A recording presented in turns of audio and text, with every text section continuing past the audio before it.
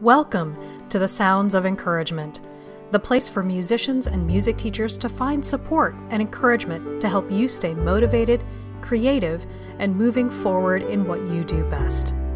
I'm Melissa Slocum, your host and number one encourager.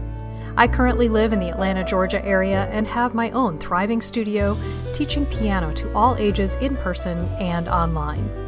I also help other teachers use student goal based learning and differentiated instruction to increase motivation in their students and increase retention rates in their studios.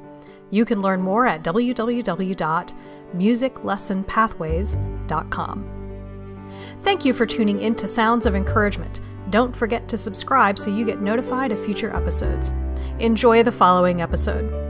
Don't forget to keep listening at the end and be sure to check out all the links in the comments or show notes.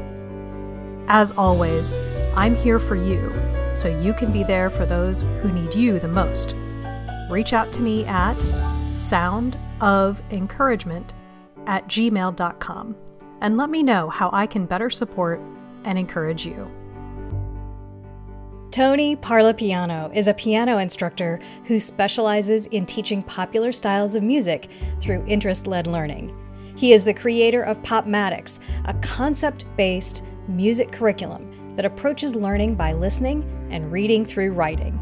Tony is the owner of Parlapiano Studio, an online studio that provides private instruction and small group training to students and music studios from Seattle, Washington to Sydney, Australia.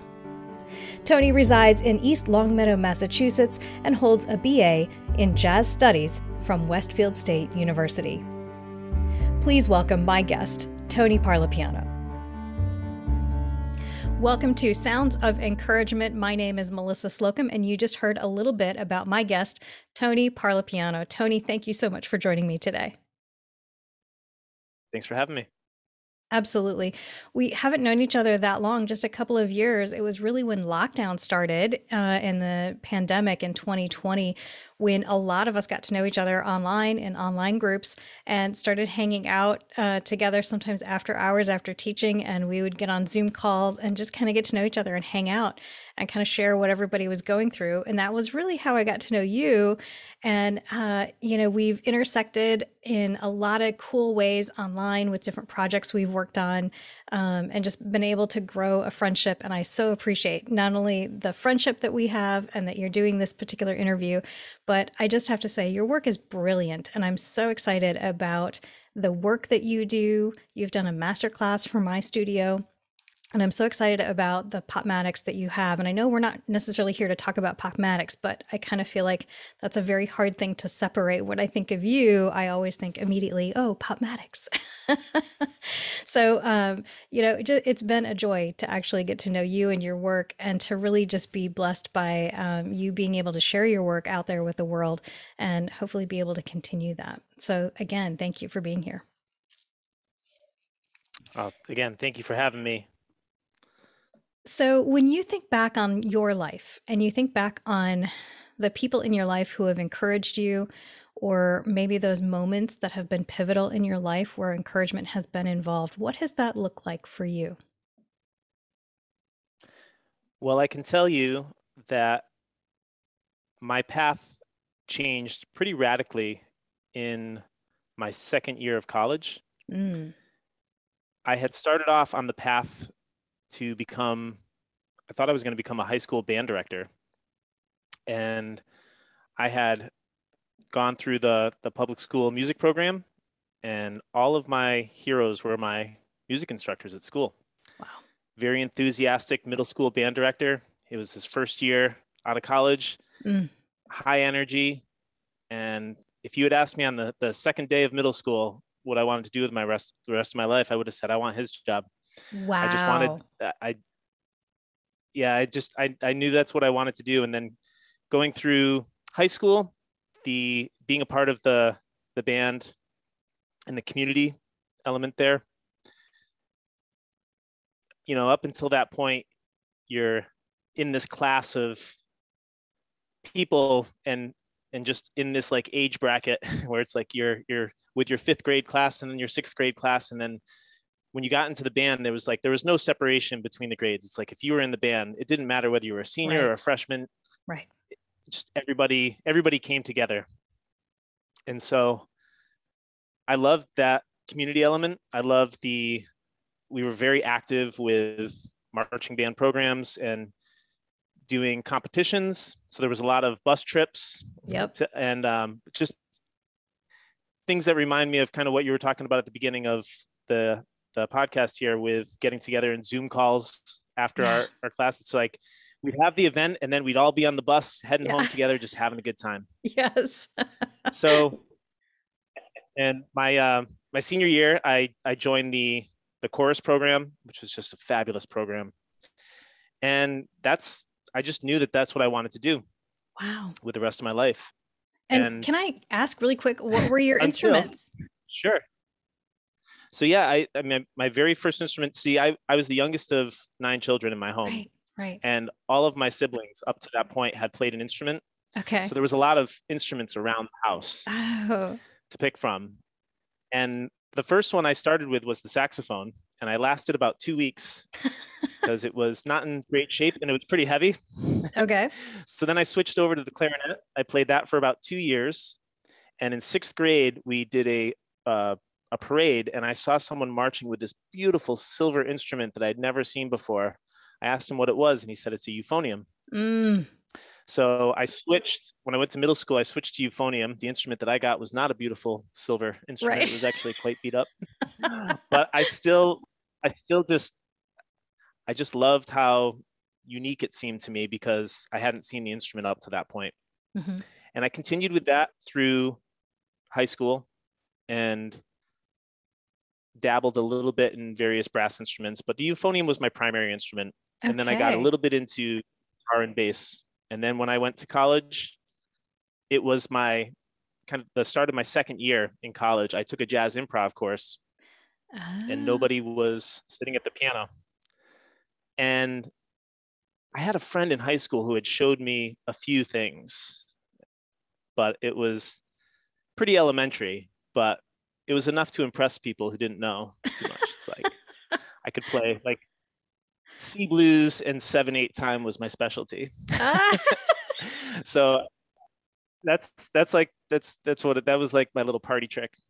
But I mean, I honestly I did not even know all of my major triads and root position. Wow. And I was just there was some that I, I I don't even really recall what it was that drew me to it to, to think that I had any right to sit down at that piano bench and say, hey, I could I'll I can play this if no one else is going to be here. Sure. And from that point on, I just I fell in love with the instrument. I fell in love with jazz music, mm. which I had not really. I, I did the jazz band in high school, and but again, euphonium. I think I kind of just understood at that point. Euphonium doesn't really have much of a place. Like, what am I going to do with the rest of my life as a euphonium player? Yeah, yeah.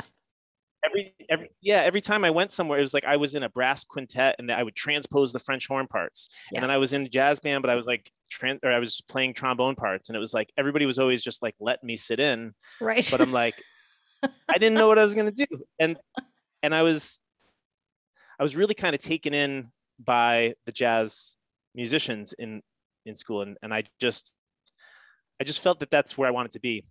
Mm. so I, I switched to piano at that point in time and from that point on i kind of spent the rest of my uh, you know the the next year or so desperately trying to catch up to everybody who had been playing since they were six. Okay. So anyway that was that was the plan that i was on and i started working at a mom and pop shop music store and at that store there was a few members of this really well established local band called rain. And the you know one of the lead songwriters and um, the acoustic guitarist and singer i became pretty good friends with him. And he's like the center he's at the center of like the whole music scene. Mm. and they do this um, they do this I, forget what it's called but it's kind of like a, a best of the, the hartford best of kind of okay. competition thing where they have all these categories. Right, right. And it's like, you know, the best rock band, the best cover band, sure, all this sure. stuff. And then they have a, a huge party, you know, the whole the whole city of Hartford. And anyway, my this this guy who he he kind of took me around and introduced me to all these musicians. We I, we I, went to the show together, and he brought me to this recording studio, and he took me upstairs, and he just he just introduced me to everyone. His name was Alan Veniskovsky, and now he works for Telefunken Microphones. Oh wow! Um, and and is still got an amazing recording studio on his own, and still playing a lot. But he introduced me to a lot of the musicians that I know today, and okay, he also was involved with lots of side projects and creating bands, and I was often invited in, into those. Oh, and wow. really, from there is where most of my friendships kind of blossomed, and I got to meet a lot of local singer songwriters, and and just kind of, um, he just kind of catapulted me into this music scene yeah. that a lot of people have to really work hard to break into and make all these connections. And it was just like, yeah. if you knew Alan, I mean, everybody knows Alan. Wow. So you are a sophomore in college and you were you thinking music education or were you thinking performing and gigging or what were you thinking at that point? I that's a good question because the only thing I knew at that point that I didn't want to do I didn't want to be a high school band director anymore or I didn't I shouldn't say that I didn't want to do that. I just there was something about the music program that, that I felt like I'm probably not going to get that gig right away. I'm mm-hmm. probably going to be teaching like elementary school for a while. Yeah. I just took one semester of woodwinds. There's no way I'm qualified to like I was just kind of a little I was I was kind of getting a glimpse that this might not be the future that I wanted. Okay. But at the same time, I also didn't want to tell my parents that I was going to drop out of college. Right, right. so I, I kind of, I, I was, so I kind of made this like little like adjacent move, and I said, well, I'm going to try to do piano now. And I don't know how I convinced the head of the department that that was an okay idea because again, I was just so far behind. But they they let me do it, and and I worked my way through the program. Wow. I'll be honest, at that point in time, I really didn't I really didn't know what the end game was going to be at that moment. Sure. I was working at the uh, mom and pop music shop and I was doing well as my in my position of sales there and I was selling their clavinovas, but I I didn't think I was ever going to really stay there either. And towards the end, it wasn't that long after I started playing piano that I started teaching piano because they had opened a new location. Okay. So I think I always knew I wanted to be a teacher I just yeah. don't think I it, there was a lot of intention behind those decisions. It was more I'm lucky how it worked out because rather than thinking about what it was that I did want, I was I was kind of making some decisions based on what I didn't want. Sure. And I just kind of fell into fell into the right place. so, did you have private um, instrument instruction when you were growing up on different instruments? Did you have private instruction before college ever? Not on, it was mostly just the public school band program. So yeah. there was no, you know, it was no no real official private instruction. I did take private guitar lessons for really just I don't even know if it was six months, but I was getting into playing guitar and I went to a local music store and, and took some lessons there. And yeah, it wasn't until I got into college that I that I got hooked up with a private instructor. Sure. At the college. And see, that makes total sense to me because you don't I feel like you don't have the same teacher baggage that a lot of us do because we were taught privately and and you know had the you know we were classically trained or had this you know idea of what piano lessons had to be or what music lessons had to be and you know how they had to be structured and what you had to teach and what you had to do and what all that meant. And i think that's hard to overcome for a lot of people and you didn't have that. And i can see that i think in your teaching now. Yeah and you know someone someone else once asked me, so how did you decide how you were going to approach lessons at the outset? Because a, a lot of people, at least they start with that that idea of what they yeah. had when they were growing up. And I said, I told them, I said, well, I just taught how I thought everybody else was taught. and I went and I, I I just I researched like the two there was like two method books on the shelf at the yeah, store. I looked at yeah. them both. I said, I think this one looks better. I'm going to try to do this. And then, but it wasn't that long until I started branching off and developing my own style, which is yeah. what it's going to be today. Yeah. Ah, oh, great stories about um, encouragement. So, was there anyone who was particularly encouraging to you and and kind of said, "Hey, you know, this is definitely your thing"? Well, I have to say I was very encouraged by my friend Alan who yeah. invited me into all these groups and that there was a lot of validation there and in working with those musicians. But there was one teacher in particular that came when I was in my junior year of college. He came back to Western Massachusetts. He was he had been living in LA for at least a few decades, working mm. in Hollywood, in, in in television. I mean, if there's a job in the music industry, he's done it. Wow. He's done it. He's done it all on all the shows, conducting, arranging, composing. Yeah. And he came back home and he started teaching at the college. And we met at that time and he was never my private music instructor. It was always just there were he kind of invented some courses contemporary harmonic techniques. There was a oh, jazz sure. arranging course. I i i made a i pitched for an independent study with him. Wow. And then after college i continued to meet with him and i still do today. I still meet with him twice oh. a month every other week friday morning 7 a.m heading wow. over to jim's house. Wow name's james argiro and uh, he's very very the interesting thing is he's been much more of a mentor than than a private instructor. Because even through there was a lot of times we we we we were not sitting at the piano. A lot of our conversations weren't even centered around music.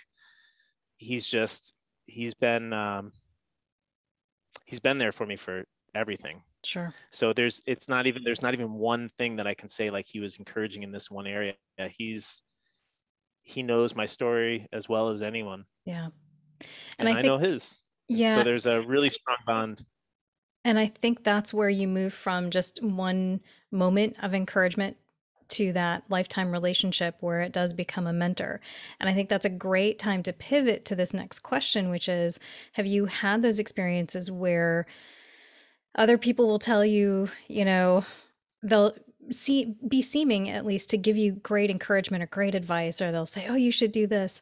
Uh, and you know it's more it becomes expectation rather than encouragement. And if you've had those experiences how have you navigated or been able to discern the difference between someone's expectation and their actual true encouragement for you? Well i do get a lot of suggestions for things that people think I should be doing. Yeah. Particularly with my curriculum. Yeah. And I don't necessarily disagree with the suggestions, but I'm very I I just I want everything to be developed slowly and tested. As you know, I'm I have a full schedule of students. Yeah.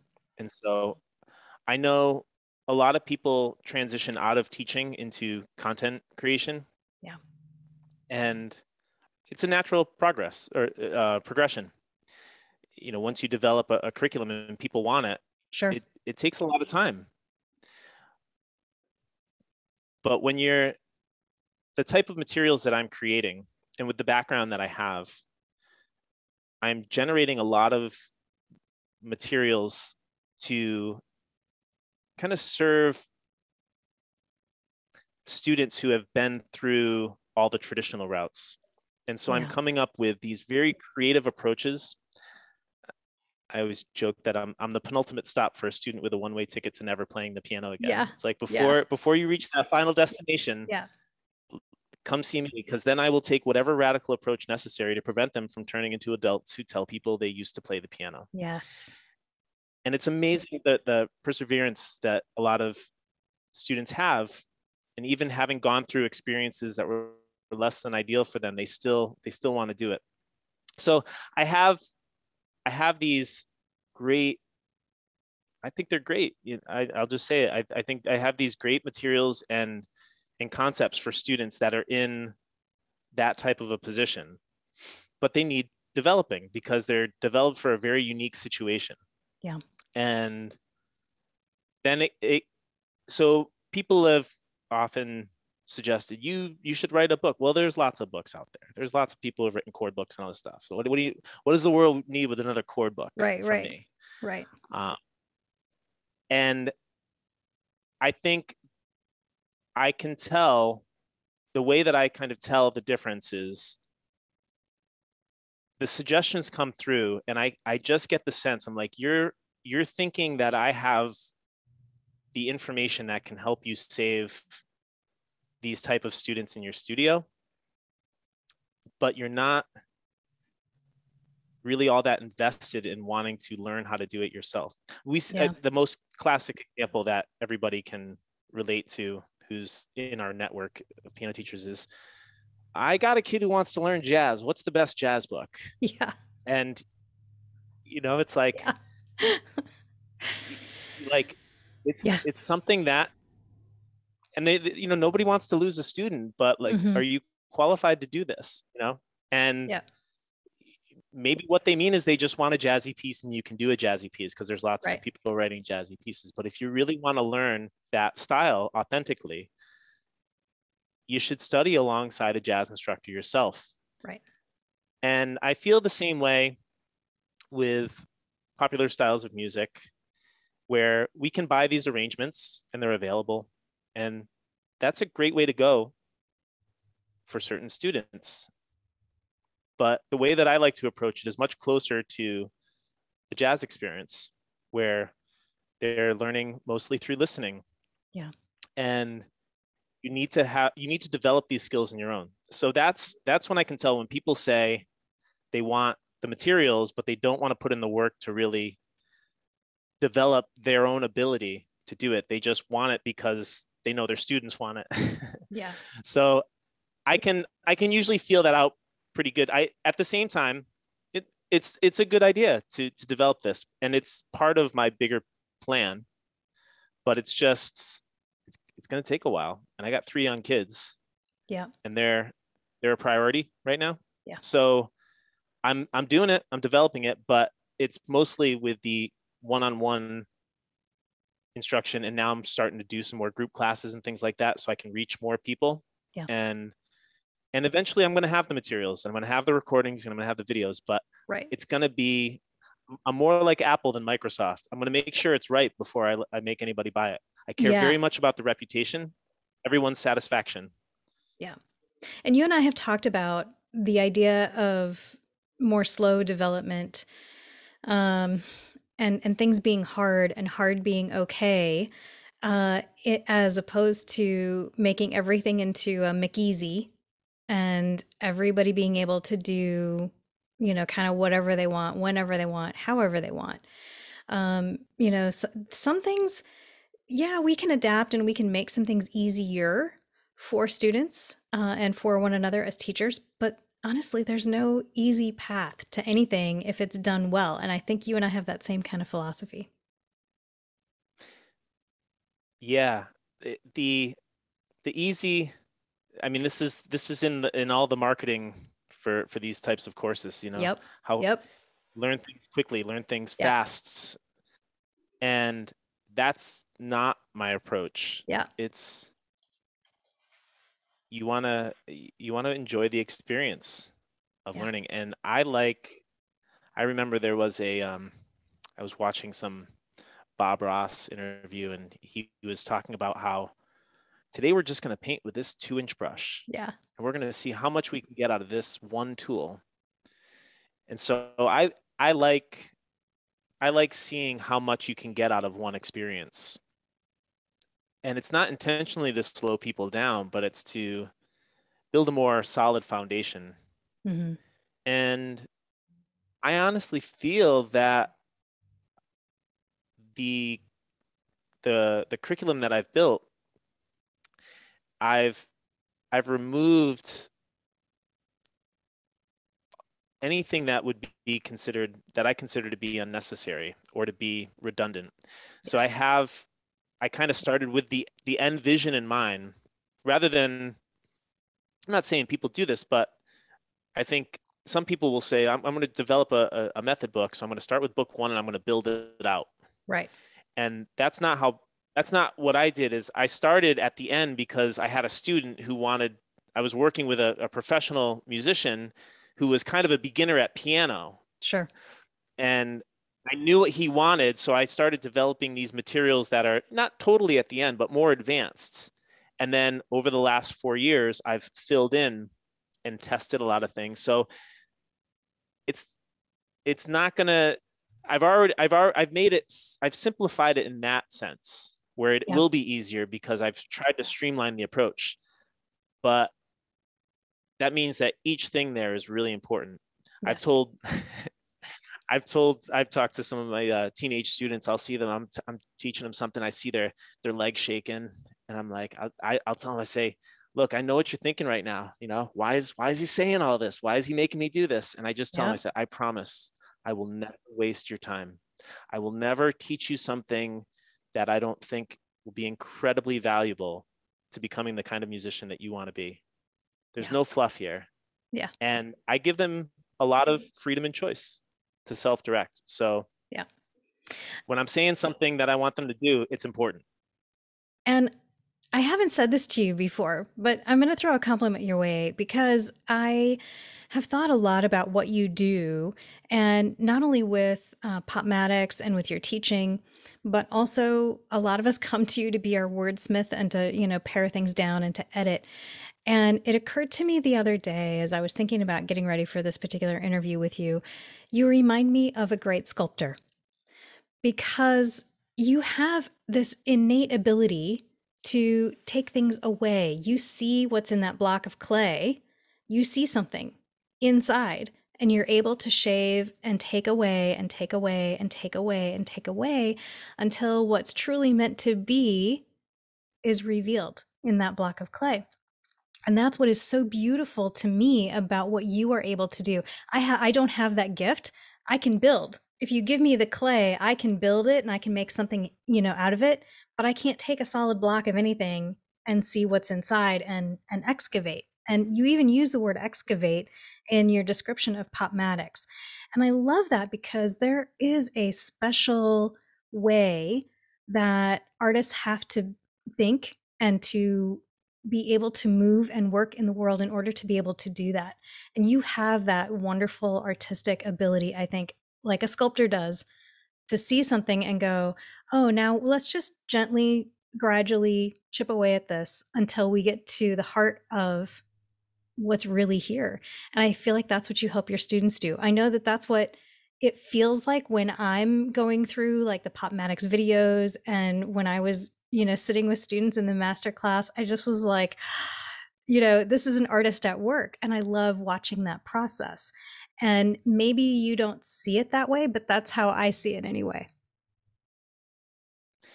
Well, thank you. That's very kind and a generous compliment to receive. And and that is something that I get asked to do a lot. Yeah. It's, I remember that uh, that quote that always gets attributed to Mark Twain, although I've seen it attributed to a lot of people where they say, I, I apologize for the length of this letter. If I had more time, I, it would have been shorter. Right. um, right. Because um, or something along those lines. And a lot of that, I think my my best friend is a is an author and mm-hmm. a and a writer, and just through having a few discussions with him and he shared some resources with me in a book. He shared with me Stephen King's book called On Writing, which mm. is him talking about the writing process. Yes. And he talks about I, I, I didn't even read the whole book, but I remember there was this part that um where his wife is his editor in a way, and she would she would say, you know, this all this needs to come out. And he would go, No, no, no, this is very important to me this is really important. I, I need to explain this because this is gonna she and he would give all the reasons why it was important. She's like, that's great that it's important to you. Don't make me read it. you know, right. and it's it's right, right. yeah. And and we we do this. It's like we need to express ourselves and discover the reasons why things are important. But then is it really that important that somebody else has to read that? Right. Right. And so I it's it's not as much I mean, it used to be torture for me to try to do this because I would I would kind of obsess over how how how much more simple could I make this paragraph? Can right. I get I, I'd, I'd get it to the point where it's like if I lose one more word, the message is lost. But if I keep it exactly how it is, the the message is intact. And and so I love that about language, but it's not it's not easy for me. That's something that that takes me a lot of time. But I and think somebody that, will say, you know, can you write this up for me? It won't take you but five minutes. It's like you're darn um, right. It's going to take yeah. me about two hours. Yeah, yeah. But I think that goes back to how you discern between what expectation and what encouragement is in a way, because you have that inner that inner sensibility is the only word I can come up with, but you have that inner way of knowing what is core to what you want to do or what is core to what you want to teach or what is core to what you want to put out there. And you won't put out more or less until you are satisfied with it. And i think that's the same with a lot of things not just teaching and with music but also with language and with writing.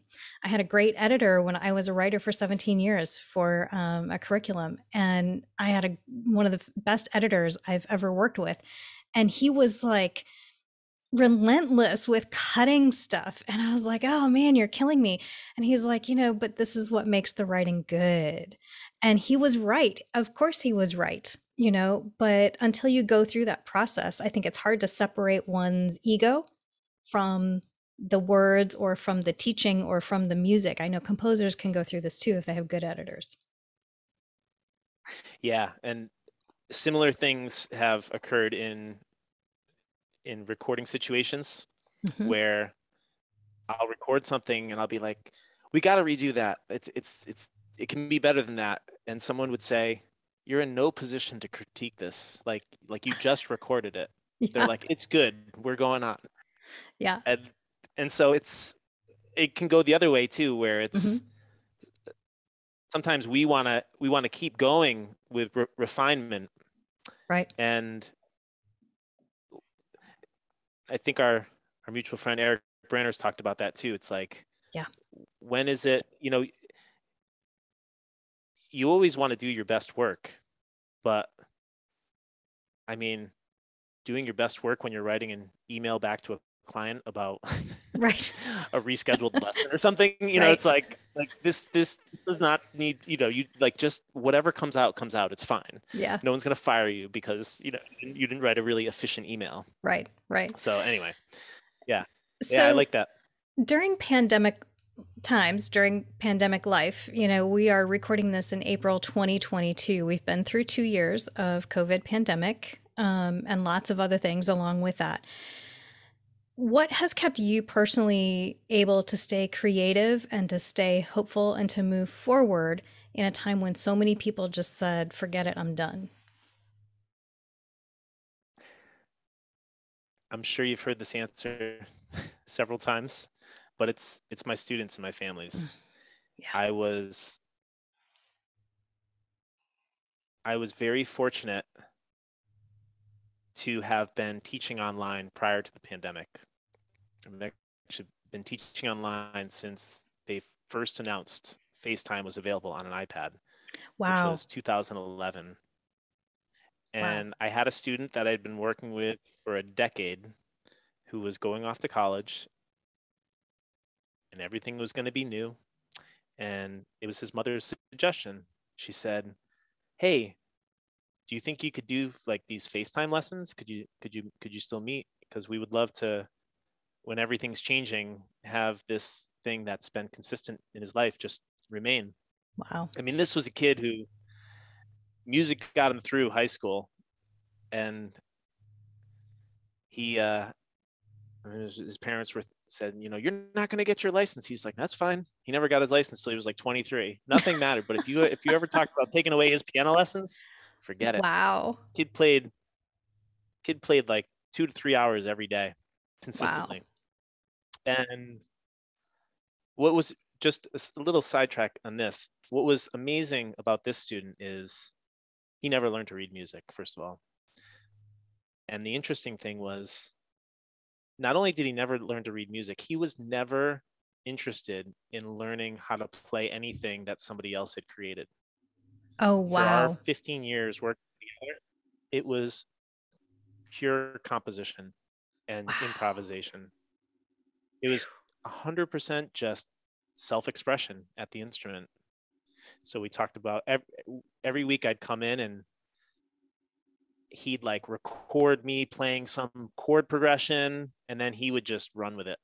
Wow. And we'd talk theory and sit and play and talk, but he never he had no interest in recreating something that somebody else he's like i just want to do it all myself and then he got into recording and it's still a part of his life today which is amazing wow. anyway that's when i started teaching online and of course back then it was just a simple ipad to ipad single sure. camera but we had been working together for 10 years so we were already yeah. high level of communication and uh, so it was easy it was just yeah. fun and that became kind of the standard for a little while i had uh, when students would head off to college that was that was an option that they could continue with and maybe i don't know maybe a few years prior to the pandemic maybe 2018 I started I, I joined these piano teacher groups. I met a lot of teachers. I uh, got developed a friendship with Stephen Hughes, and yes, and we talked together, and he helped me. He, you know, as I mean, he's. I mean, what a what a gem. Yes, shout out and props the, to Stephen Hughes. Yes. Yeah, for sure. I mean, I've I've referred several of my clients to go work with him mm-hmm.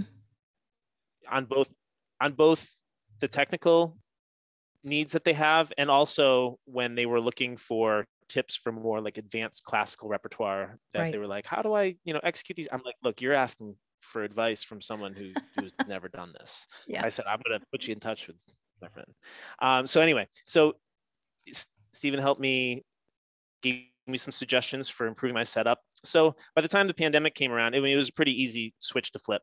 Yeah.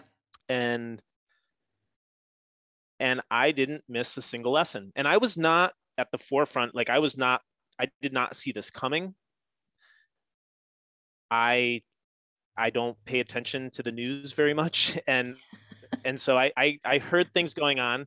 I had been invited to go a uh, studio in Boston to go there and talk to had like 20 teachers working for him and they were all going online and i remember on the way home i got about half dozen text messages from people who were like what are you planning to do everybody's going online to school and i said well I, I, I do teach online if you want to go online and then i sent out an email that night and right away about 75% of my studio said yeah we'll, we'll do the online and wow. then by the following week it was like pretty much everybody yeah Wow. But I never missed one lesson pandemic. Yeah. And that first fortunately I had that experience. So for parents who were trying to I just made it easy for them. Yeah. Just click this link. Yeah. You know? And that's all I've ever really asked of them is just just click this link and I, I might I might send you something to print for your sure. kid. Uh, aside from that, I'm not going to be asking much from you. Yeah. And and the fact that everybody really embraced that. I didn't lose one student. And I think the first time I had a, a student that stopped lessons, it was at the end of summer. They just decided not to continue on in the fall. But honestly, they were they were I thought they were kind of headed on that path anyway. I don't think that that had anything sure, to do with being sure. online. Yeah. And and they were just so supportive and I didn't realize how important they like how much how valuable the parents saw it to yeah. keep the music lessons going. They just thought it was so great. And I just got positive remark, lots of positive feedback. And I just, I felt entirely safe. Yeah. With my, my income and my work. And I said, this is, this is going to work. And then by September, I had decided that this was indefinite. And I told them, I said, you know, at this point, I don't the local community music school kind of was behind the ball a little mm-hmm. bit, kind of dropped the ball on trying to.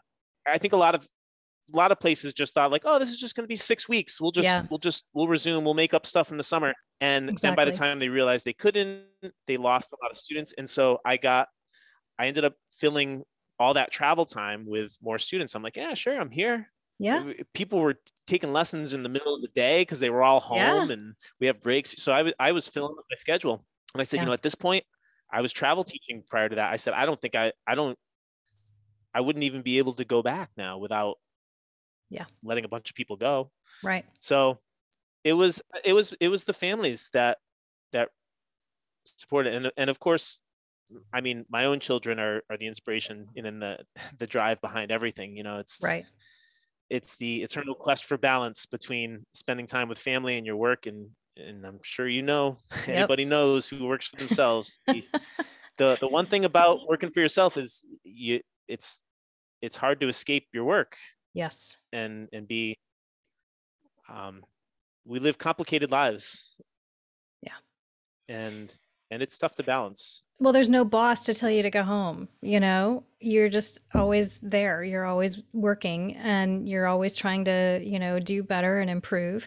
Um, so yeah, I hear that. And it's it's hard because you're always trying to manage expectations either from your clients or from your family. And it's a hard, it's a hard place to be. Did you Very find? So. I have a question though. During um, pandemic, did you find? Because I I was curious about this, and I know that this was the experience I had when I flipped my studio to teach online. I did the same thing. I had been, but I had only been teaching online about a year before, nine months before the pandemic hit. So I knew what to do, and I flipped my studio, and I didn't miss a beat. But um, I found that because it was a one-on-one online experience there was less resistance from parents and students about the online because the other stuff that was online was all like you know 20 30 kids from their class and it was it was just big and it was distracting. And i found that i actually connected you know eyeball to eyeball in a t- completely different way and in a much sometimes much better way with some of my students and it in fact helps some students i think be more independent. Uh, it helped certainly me with language and simplifying um, but i felt like there was the connection is what i didn't want to lose and just like you i wanted to make it easy for parents. I didn't tell them they had to go out and buy extra equipment or anything. I just was like no just we're just going to connect. It doesn't matter if your sound quality is bad. It doesn't matter if your video is bad. Just let's connect. And i think that was the biggest thing for me that i noticed is that in the online teaching space, I had some incredible moments with my students and it built the relationships far more than had it never happened. Yeah, and I I didn't have any experience with those other that type of group one teacher teaching with 30 kids online. Yeah. I just heard about it through my students. My my oldest son was supposed to go to first grade the year of the pandemic, and it's just I had already I had already been considering homeschooling, but I was like, if he's going to be online, I got to do this anyways. I'm just going to do it my way. Yeah. so yeah. it kind of and things have been going well. So I never had that experience with my own children, having to to see them in that environment 30 kids online yeah. but i boy did i hear about it from my students. And and i think you're right the the language that we use i'm sure we've all become better teachers. Yeah. Anybody who's made it this far we've improved the way we communicate. Yes. For sure. And students have become likely much more independent than they would have. I mean i i even though I, I would pick up the pencil and, and, and write the fingering in, or I would make a mark, or I would write the notes in their book, and now they're doing it themselves. Mm-hmm. And even if it's all in line with the slower approach anyway, yeah. giving them more opportunity to think deeply about one thing, writing it down. I've I've really gotten into that. You know, you've you know my whole thing with handwriting and, yeah. and pencils and notebooks. I think yeah. it's just I I think it's a really cool thing to have a music journal and write down notes and write down chord progressions and have this tangible thing that you can hold that with all your eraser marks and scribbles and yeah, you can really yeah. see how you had to how to how you had to fight to to learn that what that was or if you're songwriting fight to to to get that chord progression just the way you wanted it you you see all that that you and and so i think i think that that's something that's that's very special and i know years later students who i've worked with that are now in their 20s and if i go back and visit their house and i see their like stacks of music of, yeah. of stuff that i've we've created together all our it's just like that's got to be so cool i never had that i never had that yeah. i didn't take lessons when i was but when i i look back at some of the some of the snapshots that i took of like just kids like music all over the floor just scattered just so much music yeah. everywhere and i was just like yeah. just look at all that work you did it's just so cool so um yeah i i agree with you i think the one-to-one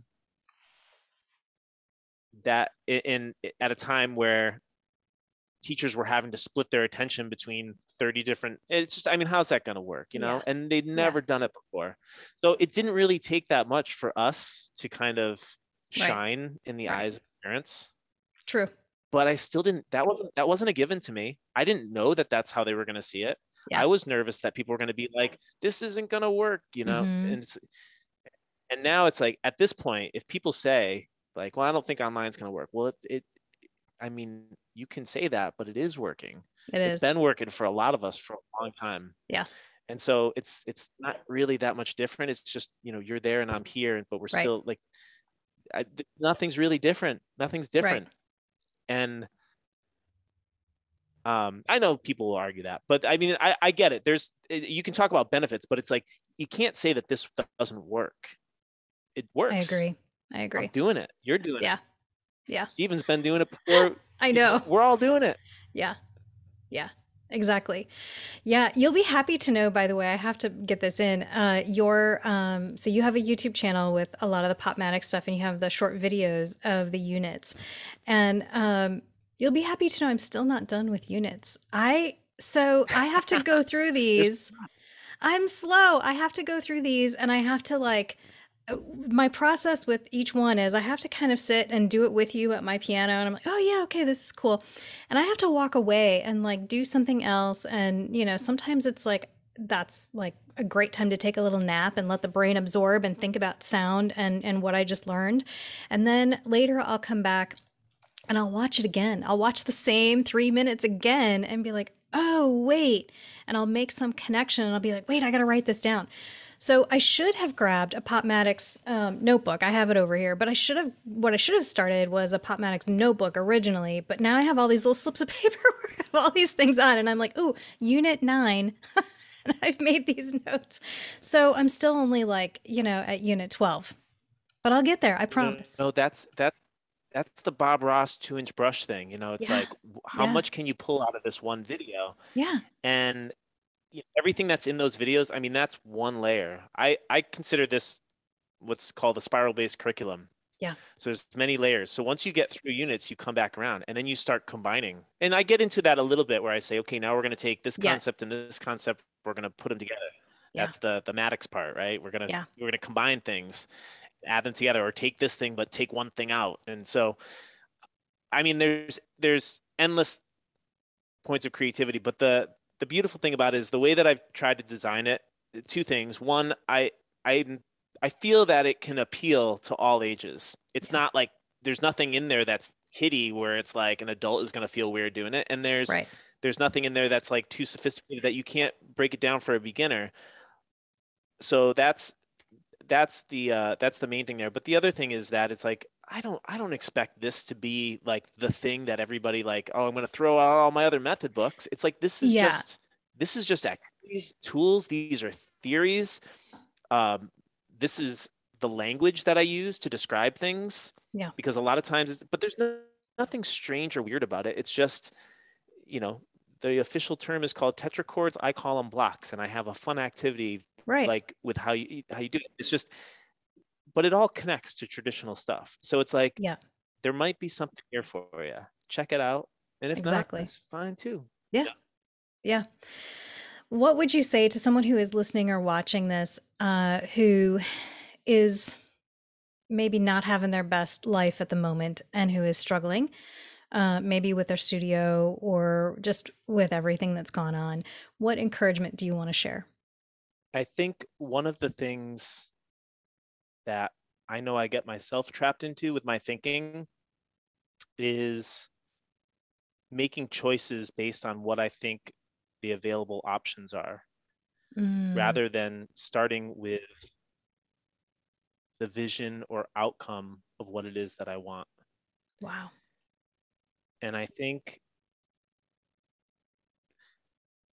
by considering I mean, remove remove all the barriers that you think exist right now between what it where your current reality and what it is that you want, and just really define that vision in HD. Again, even if you think you can't have it, it's still important to say it. This is what I want. Yeah. And from there, you can create the path of least resistance to, to get towards that goal, the series of steps that are needed. And in saying that, I, I, should mention that that is a that is a book that I've read. My mentor, who I mentioned earlier, um, James Argero from from Hollywood, who, who came back here, he introduced me to this book. And it's not the path of least resistance, like taking the easy way out kind of thing. It's about energy moving in the direction that it needs to go in the most efficient path. And that's he talks about those two things where it's like decide what it is that you want and it, can you accurately describe current reality like really where you are right now? And then you can start to make some choices to get you there. Include everything but sometimes we limit our options based on what we think yeah. people will accept. And i have to say like just reach out to the communities that you're in these piano teacher groups if if that's if that's your thing if that if that's where you are i mean that's where i received a lot of positive encouragement. And when i've when i had questions and i started the first year i was in all those groups i asked all the questions. It was the first time i had i had i'd been surrounded by other people who do what i do. I mean yeah. i'd been doing it alone for 15 years and then i couldn't help myself. I was i was addicted to just asking questions commenting learning as much as i could. And then you get into that second or third year and all of a sudden you're going to become the person who's helping somebody else. You're going to be helping the new people that are coming in. Yeah. And then when you get a little further along you're going to get there. You're going to get a little further along and then you're going to smile when you see the people that you were helping helping the new people. Right. And you're going to be in this position where now you can really just decide you know who you want to help and and make these fabulous connections with people. So i mean there's a whole community of people out there who who want to connect and share ideas. Mm. there's no shortage of people who are willing to talk you through options. There's people who have been there. So that's what i would say is try not to limit yourself based on what you think is possible. Really just determine what is it here that I want. And then just talk to people. Look for people who are running thriving studios. Look for the people who are doing what it is that you want and talk to them. A lot of them have, you know, I, I know, I know you, you have a lot of resources and material people can go and search and and get some information for free yeah. and then you know if they yep. like what they see just like it is with my stuff with units yep. like what you see you know we can work together and yeah.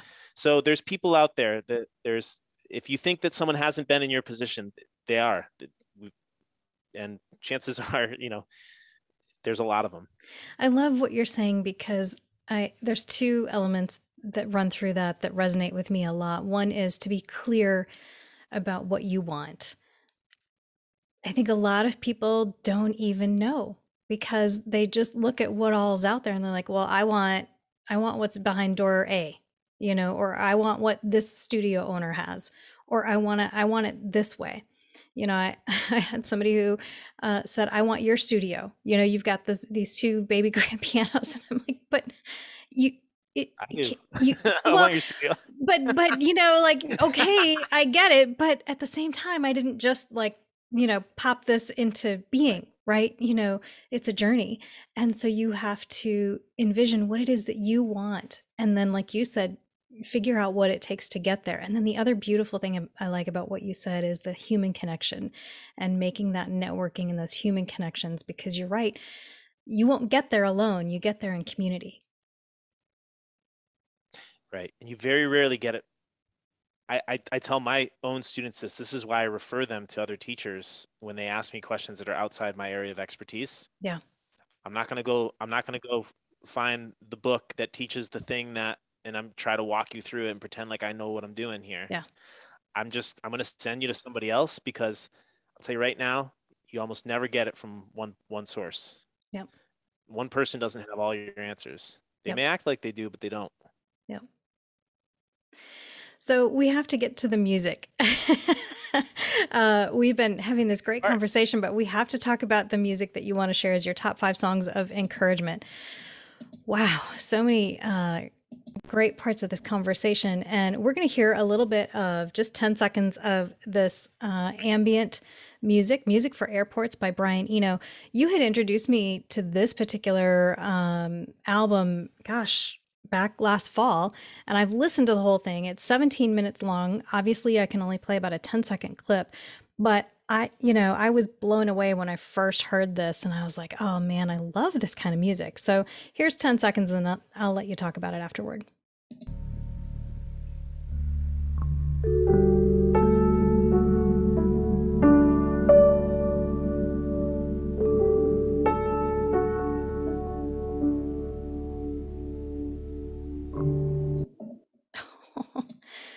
See, I could listen to that all day.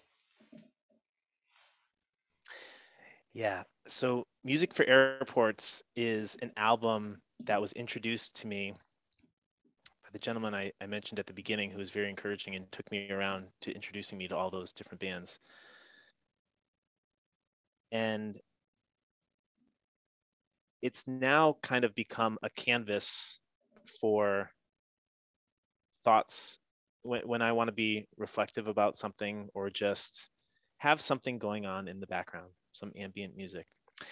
The the fabulous thing about that is the the composer of that, Brian Eno, who's a producer who's worked with U2 and Coldplay, and when I, I haven't found very much about that album, why he did it, or the concept behind it, but I did find this like three minute interview clip, and he talked about how he went to this airport and surrounded by the beautiful architecture and the way the light just came in and was reflecting in the room. Just everything about this this place seemed so beautiful that they had thought of everything except the music. Uh-huh. and the music kind of just ended up being this like mixtape of somebody's favorite songs and it's pumped through the whole right, airport right, for everybody right. to hear. And so we started thinking about what what would it be like to compose music for public spaces. It's kind of this idea of imagine what it is that you want. Right. So he said, well, you would you wouldn't want it to interfere with human conversation. Um, so you'd want it to be either higher or lower than than than that. You wouldn't want these very frequent changes. Mm-hmm. So that's why the tracks are very long, 17 minutes or so. Yep.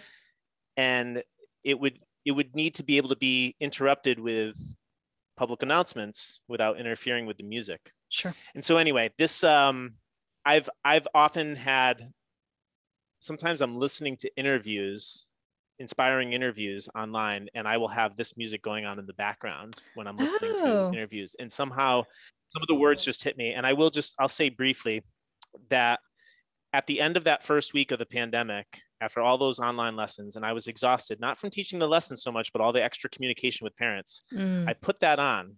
I've already mentioned Bob Ross. I, for whatever reason, I threw on an episode of Bob Ross. It was Island in the Wilderness. And there was one point in there where he said, he's, you know, you hear the brush strokes going along. It's all, I got it blended. And Bob Ross says, he says, but it's that easy. What's so fantastic about this is that anybody can put a little masterpiece on canvas with just a little bit of practice, a vision in your mind, and off you go. And that's mm. how I came up with concepts for canvas and the painting and and and all those that those parts to units. Got it. Got it. And I really wanted to have, yeah, I I I just knew I wanted to do something different. And units, everything that's that that's in that part, that's all after March 2020. None of that yeah. really existed prior to that. Yeah. And it was all just now I'm working with students that are very young. So I want to I want to give them something different because up to that point it was all more advanced students. Right. So that's that's kind of how that that all that happened. I love that. And there's there's a a certain uh, love I have for ambient music that I won't share here, but it's always been part of my life um, from different composers. So I love that you're you've included that. We're gonna move on to the next. Uh, I want to hear about it later. Yeah, I want to move on to the next uh, piece here. This is uh, Roller Coaster by M. Ward. Here we go. You're like a roller coaster you got the heavy metal wings. You could make a dead man scream. Talk about this one. Yeah, so M Ward is my favorite modern day singer songwriter. He's very much inspired by music that's pre 60s. He's the first time I heard his music, I didn't like it. I kind of dismissed it. My mother actually introduced me to it. Oh, my mother. I was going to say it's very uh, folk. My mother, very folk. My mother was um, growing up. It was in my house. It was Willie Nelson from my dad, Elvis from my mom. But later, my mother got really into Norah Jones, and my brother took her to a concert, and M Ward was the opening act. Oh, okay. CD, she gave it to me, and I didn't love it. Um, it was the album that that that track is off, and then later I saw this independent film called The Go Getter, and it's not really something that I that I recommend to a lot of people, but it's it's something that really resonated with me. But I don't. It's not like um, I think everybody's gonna love this out this this movie, but it there was a lot of parallels to my life, and M Ward was the soundtrack for most of that movie, and okay. it was filmed in the same area that he was in. And I just got I I just fell in love with his music, and this whole idea of the the roller coaster um you know that's the ups and downs with with our with our work and kind of just embracing that you know this stuff it lifts us up and then it sends us spiraling down. It's it's it's gonna be it's kind of just the acceptance that like and rather than getting a little down about it when when things get tough or we have those late nights or your computer crashes and you lost all your work that you were just doing. Just yep. recognizing that this is this is part of the gig you know and and kind of turning around and saying like I, I still can't believe i get to do this. Like I, any any this is our this is our our craft. This is our art. And any job utilizing your craft and your art is better than any job not. Yeah True. Uh, yeah. Uh, and you use so the roller coaster reminded me too in Popmatics of your unit about riding the waves.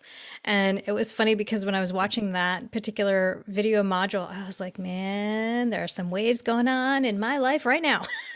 so this is very like allegoric to what we're doing on the piano in this yeah. unit because I was like, yeah, I feel this. Like this deeply resonates. So, you know, sometimes I find I think probably too much about Popmatics and what you're doing because I make these parallels to things that are highly philosophic that you never intended. but that's part of what's happening, I think, sometimes. And the other thing is, I had never heard of M. Ward, but he reminded me, his voice and his style um, reminded me of Leo Kottke, who I've seen many times. Uh, and Leo Kottke is a folk, um, kind of like a folk artist, but yeah, I was really, really, I'm like, I got to go listen to more of this guy's stuff. So that's what I'm going to be doing later. I will need to check that out myself because I'm not familiar. Oh, yeah. Leo is fabulous. Okay. So we're going to move on to Bon Iver here. Let me share screen again. This is, I love the title R.E. colon stacks. And this, go listen to this whole song. This is a great song. Here we go. We're going to start this about a minute in.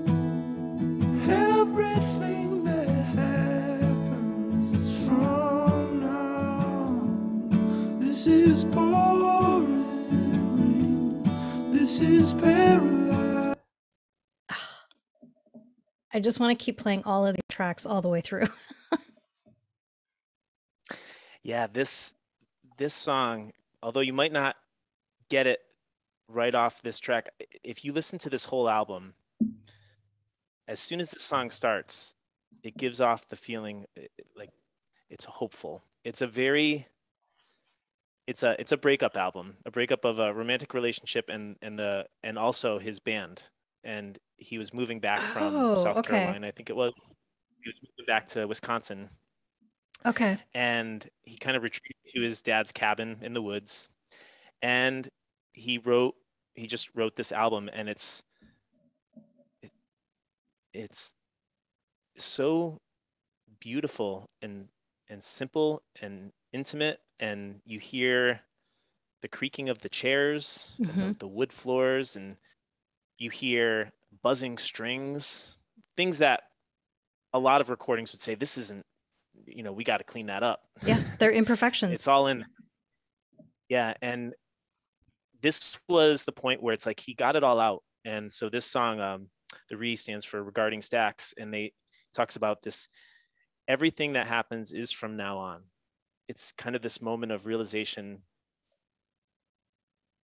This this is everything this is my new this is the new era and this is the past. I'm putting the past to rest and i'm and i'm moving forward. So i i just listened to this album so many times. I i like to go for very late night walks when the rest of the world has gone to sleep and i listen to the headphones and i just kind of stare up at the stars and there's something about this album you just feel so close to to the work that he's doing and the message that he's sharing and it's it's just the lyrics are so poetic. Yeah. Uh, at one point he talks about um, he's talking about a black crow sitting there you know with his wiry legs crossed. He's yeah.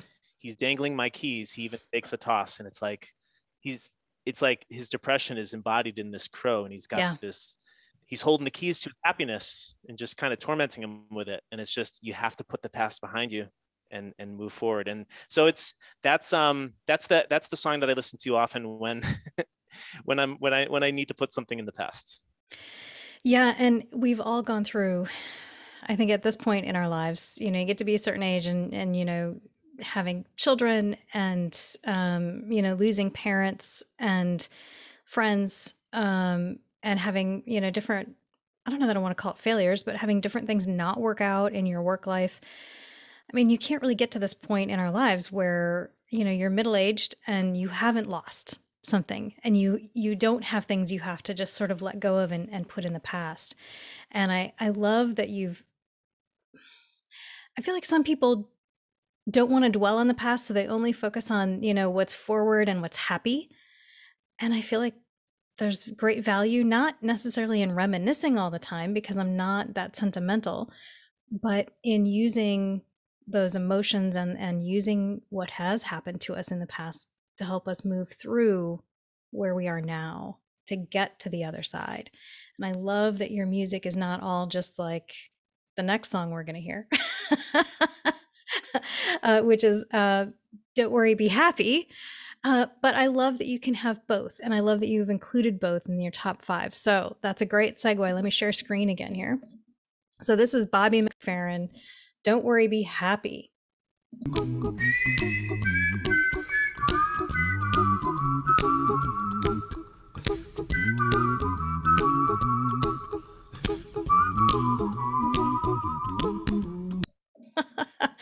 Listen to the whole song because it's just a great, uh, a great song. Yeah, and and I I hope anyone listening is already familiar with this one. I mean, this is yeah, uh, this is a gem, and it's kind of one of those songs that get kind of lumped into like your a childhood song and uh, something that a lot of people might think you you, you could outgrow. I have a friend of mine who uh, is a Nashville-based singer-songwriter who I played with a lot. He's one of the first musicians I played with. He, I think he opens every show he does with this, and he, oh, really? you know, he's got his own take on it. And and I've played with him live, and we've done it, and it's just it's so much fun. It really sets the mood. Yeah. And the interesting thing about this song, though, is it was not that long ago, uh, maybe. Um, uh, I can't I can't even remember, but it, maybe maybe a year ago or so, I went to a birthday party for one of my students, and they all the children were playing outside. My kids got to go, and they were moving. It was both a kind of a farewell party and a, and a birthday party for my student, and everybody's okay. out there playing, just having a good time. And then all of a sudden, the parents come in and they're like, "Okay, we're gonna organize this fun," and they put on this song on, and they're like setting up rules. And now the kids who are playing freely are now like standing in line, getting impatient. Hey, he went first. It's my turn now. And yeah, and it was the first time that I I thought of this song from a different perspective, almost like don't worry, be happy is possibly the best advice that you can give to yourself. Yeah. But it's also like the most frustrating advice to receive from somebody else. It is. For somebody else, it's almost like like saying like don't worry, be happy. Like it's just like I, I see parents almost be this way to their children sometimes. Yeah. Oh, just be happy, be good, you know, all, and it's in a way it's to me it's the recognition that like peace and happiness is procured from within it's it's something that we we have to give ourselves and you know even just watching the music video here with yeah. robin williams and just yeah. goofing off and being silly and it's just i just i love how lighthearted it is um it's all you know there's all connections to you know it's like ones and four chords and you know in Popmatic's land four over two. So everything's yeah, connected. Yeah. It's very it's very safe. There's no tension in here. It's very light. It just rocks back and forth between these happy emotions. The music matches the the vibe of the song, and I just love that. After all these years, I heard it both as like just this "don't worry, be happy" kind of carefree thing to almost like, you know, it's you you'll hear him even later in the song the way that he says some of those things you know you know you don't want to bring everybody down mm-hmm. you mm-hmm. know it's mm-hmm. like it's like you're here that's from somebody else saying you don't want to you know like trying to manipulate you into being mm-hmm. happy yeah so it's um yeah anyway that's that's that's the main thing is it's all procured from within it's great because there's there's at the same time that it's don't worry uh you know be happy there's also still acknowledgement we all have bills to pay you know we all have problems in life sure. we all have stuff to deal with but it's okay. Don't worry. Be happy. It really is. And and I've really just coming to understand this now where I've I went through some you know i had to go get a car uh, you know new car and i was just like everybody's telling me it's like oh it's a terrible time to buy a car i was telling you like, that how do you know it's a terrible time to buy a car yeah right i was like how do you know it's i said this might be the cheapest cars are ever going to be you know it's like i i have no idea so it's like it's it, and I, I really don't you know and like, i yeah. hope it gets better but yeah. but if it doesn't like i'm going to be very happy i got one now. Right. So it's it's one of these things where i'm worrying about all these things that i have that that i should be filing under like i have no control over this. Yeah. And and the worry it, it's not easy to do but if you can really the worry comes from being in the the past or the future Yes. I got to make this decision now because I, I don't know what it's, I, I got to protect myself from what's going to happen over here or some past experiences making me concerned about this thing. But if I'm really in the present moment, I can let go of the worry. Yeah. And be so grateful for where I am and, and what I have and what I'm doing. Years of therapy speaking right here. it's that's so hard. That is so hard. Hard, hard, hard. But well, I know exactly you as a you as a dog owner too, because uh, we're both we're both we both love dogs. I will yeah. say that that is that is one of my the my favorite gifts that I receive from being a dog owner is those late night walks that I talk about because you know they're in the moment all Yeah. the time. Yeah. So just taking a 30 minute walk with them, they're they're teaching us Yeah. how to be in the moment. Just pay attention, just observe your dog. dog. Yeah. Great advice. We have one more to share here, and I love that you included uh, probably one of your favorites um, in terms of musicians. This is Bela Fleck and the Flecktones, and this is part of this really great track of Amazing Grace. Go listen to the whole thing. We're just going to play this tiny little bit, uh, and then I'm going to let you talk about um, Mr. Wooten in just a second.